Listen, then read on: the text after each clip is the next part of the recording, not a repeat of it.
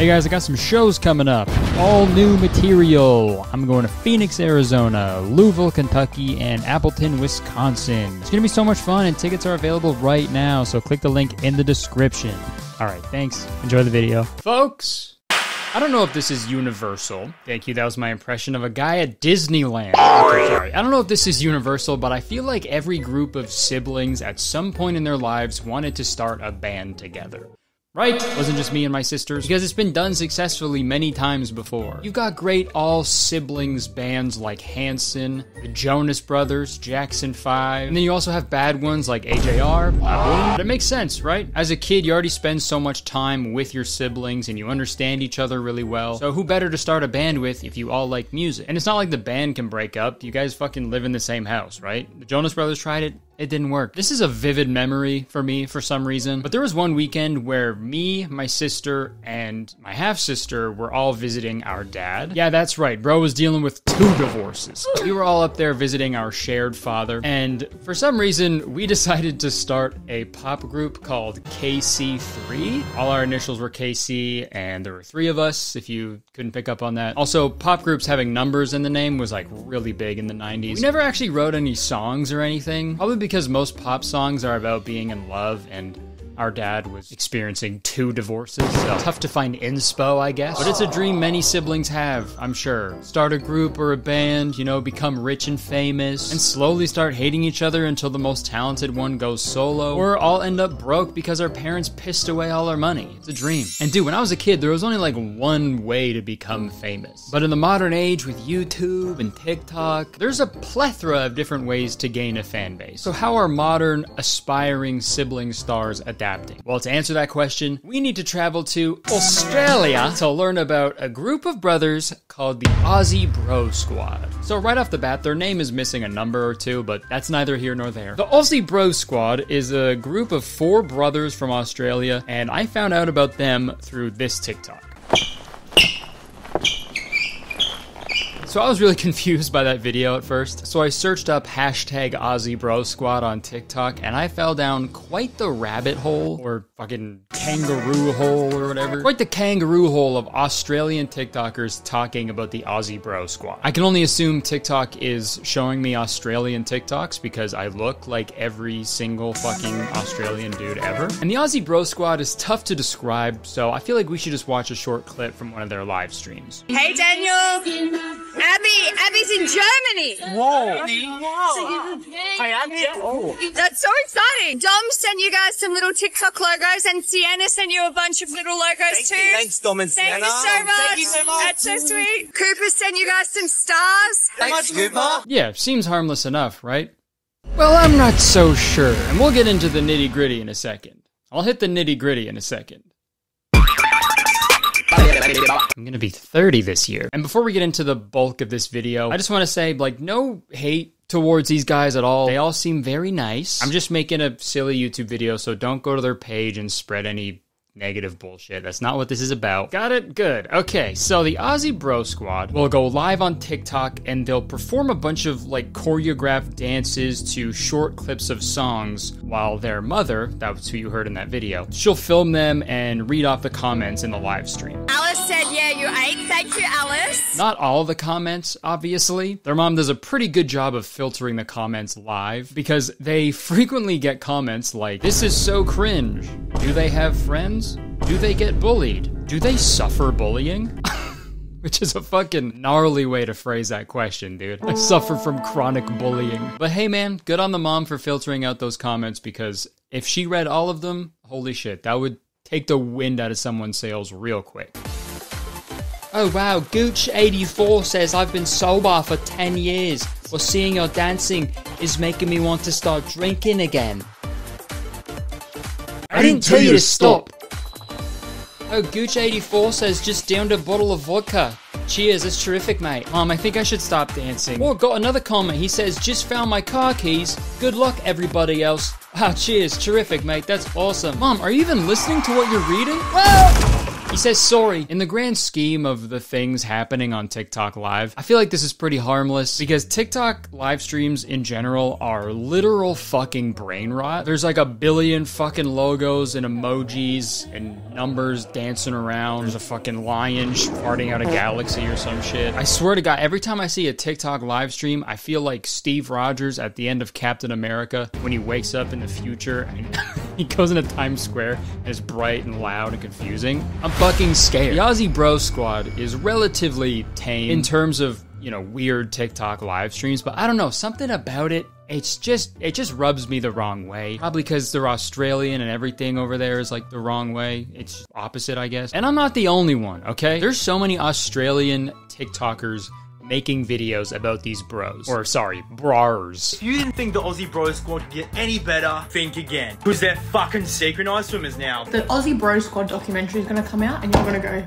I remember where I was. These Aussie bro squads just come across my fucking For You page and I've just found out tonight. Aussie Bro Squad, this morning when I woke up, they were live dancing. Tonight, I'm going to bed. They're still live dancing. I just don't know what to say. What the fuck is going on? Just the other day, I was keeping an eye on their account, uh, just see if I could catch a live stream while it was happening. And I did not have to wait long. They went live at 8 p.m. Eastern, and they danced for a little bit, and then they ended the live stream. We are Aussie Bro Squad. So I was like, okay, cool. They're already out and about. They decided to do a quick live stream, and that's it. Totally normal. And then 10 minutes later, they went live again. This time it was just the mom like reading out all the comments while they just like walked around the streets of Australia. Hi, Mum, said Cass. I'm more of a fan of Mum. Oh, Cass, you're such a sweetheart. And when I was watching this, I assumed this one had to be the last live stream of the day. But then the mom said this. We are going to jump back in our car now and we may head over to the water or we may just go home and set up for the food live because I'm getting hungry. Go home and set up for the food live. I beg your part, the food live? Uh? These kids can't even enjoy a meal with their mom fucking live streaming the whole thing, dude. I already think it's super weird when parents film their kids for content in any sense, so I'm, I'm a little biased. But personally, in my opinion, this seems like a fucking nightmare, dude. Like, this isn't normal or healthy. And again, this is nothing against the Aussie Bro Squad, okay? They're not really doing anything wrong here. I feel like the mom should know better. She should know better not to fucking live stream every minute of her children's lives to strangers on the internet. The mom also frequently posts like where they're gonna be and when. So potential fans can come and like meet them and be in the live stream. Where in Tassie are we? We're actually in New South Wales at the moment. We're not in Tassie yet. We're not far from that funky palm tree that's up in the air. It's crazy that she doesn't see how that is also super dangerous as well. Gonna be in fucking Brisbane with my four uh, little boys. Come get them. What the fuck? But I digress. So I tuned into the food live stream for a few minutes, and in my head I was like, well, surely this has to be the last live stream of the day. You know, there's no way they're gonna do another one after this, right? I was wrong. You guys recommended that we do um, dessert live. Yeah, so we will do a dessert live for you. Yeah, another separate live for when they eat dessert. What the fuck, dude? I mean, at this point, it was like 11 p.m. and I went to bed. I didn't want to stay up to see them eat dessert. So I can't confirm or deny that it happened, but this is fu- it's like way too much, right? You don't have to do a live stream for fucking every single thing they do. Mom, can I talk to you? Absolutely. Jessica just broke up with me. She was my soulmate. Mom, what am I gonna do now? I had a whole we had a whole life planned together. It is She said she fell in love with someone else. I've just never been so sad. I feel helpless.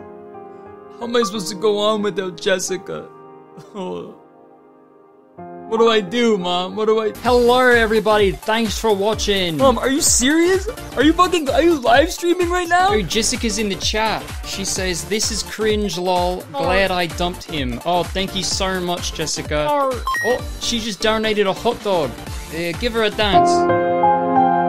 And look, there's nothing wrong with letting your teenage children have fun and make some content together online. But if that's what they want to do, fucking let them do it on their own. Having the mom there the whole time adds like a really, really weird dynamic to the whole thing. You're four brothers from Australia. We set up, we go live, we perform in all different areas. It kind of makes it seem like she's forcing them to go live all day long, especially when you factor in that none of these brothers have a personal social media of their own. Like the only videos that they make is filmed, edited, and posted by their mother. I don't know, man. It's just really weird. They're getting like donations and stuff too from people. So I hope at the very least, like whatever revenue that generates is getting like placed in like a college fund for these kids or something. That would be that'd be nice. And also like how long can this really last? What if the Aussie Bro Squad actually got like super famous, like fucking like celebrity status? You know, they're performing at the VMAs or something, and while they're doing their friggin' awesome dance moves on stage, the mom is like also up there with them fucking holding a phone and yelling shit at them the whole time. I'm just saying, man, nobody's favorite boy band member is ever the mom. They're called the Jonas Brothers, not Jonas Brothers and also Denise. and also, dude, I just watched a live stream last night of the Aussie Bro Squad. They were dancing outside. And like, the thing is, even if you liked the Aussie Bro Squad, if you're a genuine fan, you don't even get to fully enjoy them because the mom fucking talks the whole time. Here on TikTok, the massive volume of people who have said, please come to Wollongong over and over on all the reels over and over again. One of these days, I want one of the brothers just to fucking snap and be like, Shut the fuck up, Mom! That's enough! I'm trying to dance here! There's also another live stream I caught of just the two twins dancing, and I was really confused to where the other brothers were. But then I found out that it was just them because the other two brothers were, you know, young, so they're still in school. Even though you've graduated, we'll just drop you off anyway, okay? Yeah, these dudes are like 18. So I guess that's a no on the college fund. they can't even fucking go to college if they wanted to. They're doomed to a life of dancing on TikTok. And you know, not to sound like a boomer, but like, shouldn't these kids have jobs? It's been a while since I've been 18 years old, but I feel like this is the last thing I would want to do if I was 18. Sorry, I'd love to hang out, but I can't. My mom's filming me and my brothers dancing for a live stream. Okay, well, what about when you're done? Done.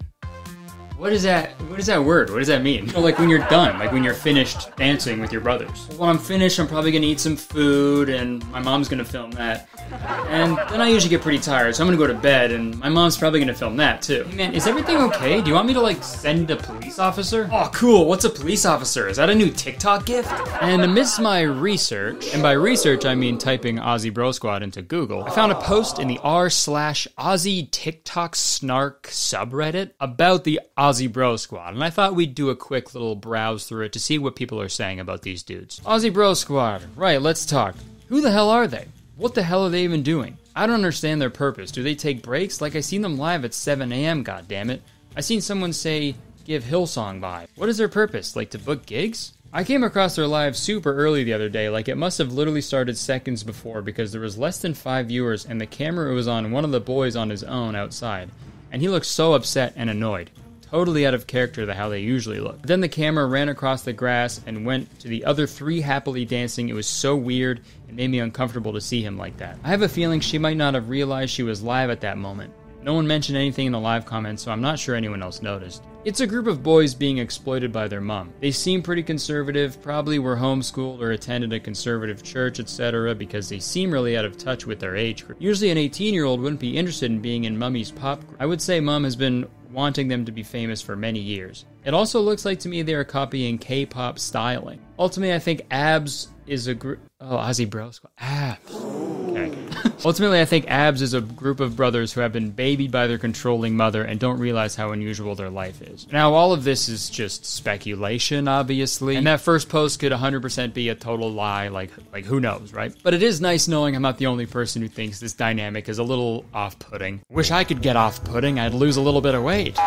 All that stuff. And as strange as all this is, I gotta admit, the acronym for Aussie Bro Squad being ABS, that is a 10,000 IQ play if they're trying to be the next Magcon boys. Also, the 7 a.m. thing is crazy if that's true. Popping and locking before the fucking sun rises is wild. They heard the term rise and grind and completely misunderstood. Yeah, dude. Rise and grind in me. And again, this is the last thing I would want to do before going to school in the morning, dude. But the mom has a strict schedule, I guess. This is how I imagine the mom wakes up the Aussie Bro Squad every morning. Dance. I just have so many questions, man. Like, where's the dad during all of this? Never see him, dude. Is he the choreographer? Or maybe he's off working fucking four jobs to support the abs? Who knows, dude? Maybe their dad is Jason Nash. That, that would actually make a lot of sense, you know? Keep the business in the family. Mirror with the sunglasses. Yes. He can never be in their videos because he's too busy stacking bread in his own live streams. Oh! Your four brothers from Australia. We set up. We go live. We perform. Another question: Are there more? Are there any other brothers? Ones that didn't make the cut? Because that's pretty common with famous groups of brothers. The Jonas Brothers have that bonus Jonas they never talk about. The Property Brothers have that emo brother that they never talk about. I wish they would talk about that emo brother though, dude. I sorry to get off topic here, but could you imagine a Property Brothers show with an emo Property Brother like leading it?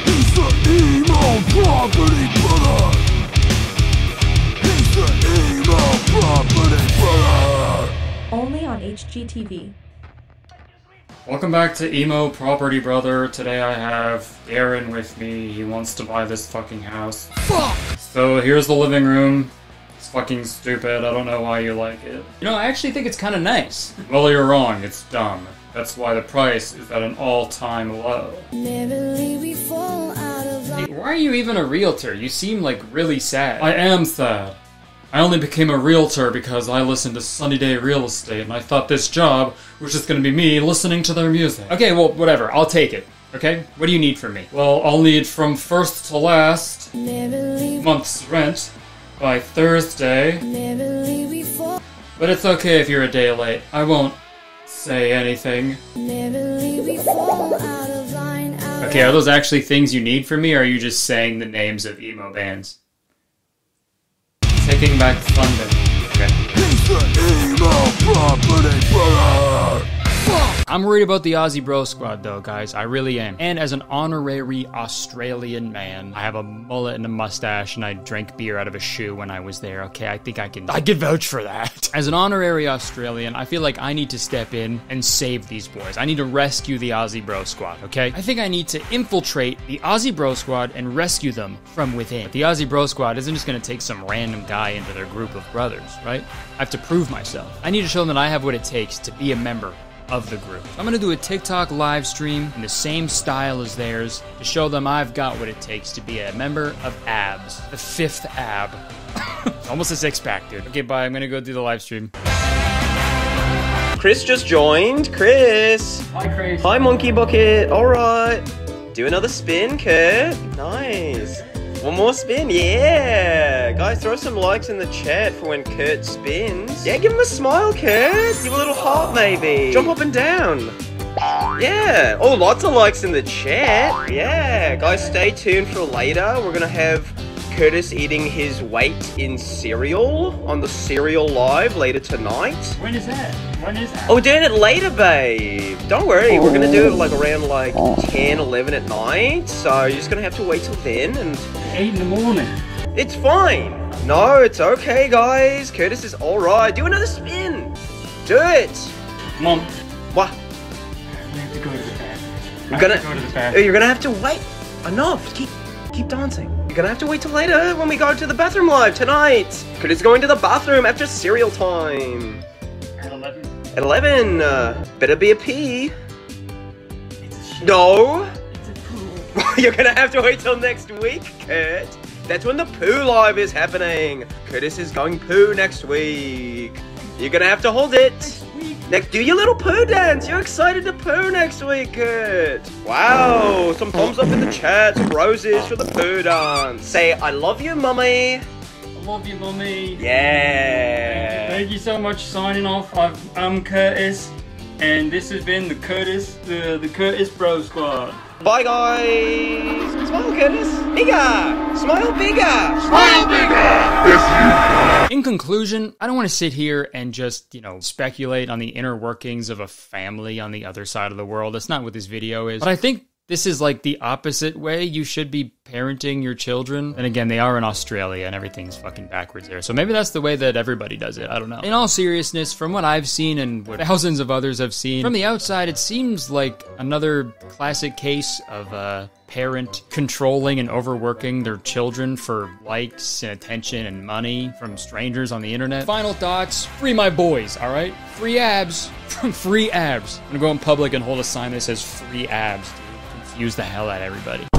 Okay, well, in the words of the Aussie Bro Squad's mother, time to make some money. Let's cut to a commercial. I've been bamboozled. I recently found out I was being charged every month by a streaming service I haven't used in literal years. I subscribed to watch a season of a show and I guess I just never canceled it. And it's charged me like hundreds of dollars over the years. And this happens all the time. This might be happening to you as well. And today's sponsor, Rocket Money, is here to help. Rocket Money is the personal finance app that helps you cancel subscriptions, lower bills, and manage your money better. Rocket Money safely and securely identifies recurring charges and cancels unwanted subscriptions for you. And if you're like me and hate talking to customer service representatives on the phone, then you're in luck. Because with Rocket Money, you can cancel unwanted subscriptions from within the app. All it takes is a few quick taps, dude. It's so easy. That is a dream come true. I'm also using Rocket Money to set budgets. With Rocket Money, you can analyze your spending habits and create a custom budget that works with your lifestyle. You can automatically monitor your spending by category and get notifications when you've exceeded your limits. Rocket Money has helped save its customers an average of $720 a year with over $500 million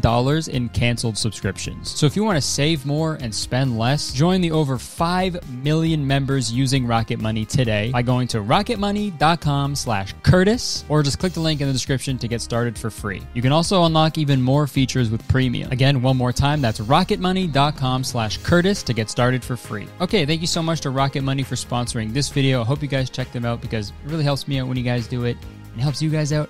Freaking everybody wins, man. Okay, thank you so much. Back to me. All right, thank you so much for watching. I hope you enjoyed it. If you did, please press a like button because believe it or not, one like equals one Aussie bro I will rescue. Leave a comment. Let me know if you want more quick little videos like this. I'm in the middle of making a longer, more uh, complex video, so this was fun to sort of just goof around a little. And also press the subscribe button right now. Do it. As soon as you do, you become a valued citizen of Kurtistown. If you didn't know, Kurtistown is the best place to live in the world, and I'm the mayor, so you have to be nice to me. It's the law. You can check the description for the other stuff I do my podcast, Instagram. I got shows coming up in Phoenix, Louisville, and Appleton. So I'll see you there. It's gonna be a lot of fun. All right, that's the video. I would stick around. I'm sorry, but I unfortunately have to go. Uh, my mom is gonna film me taking a shit. See ya. Uh.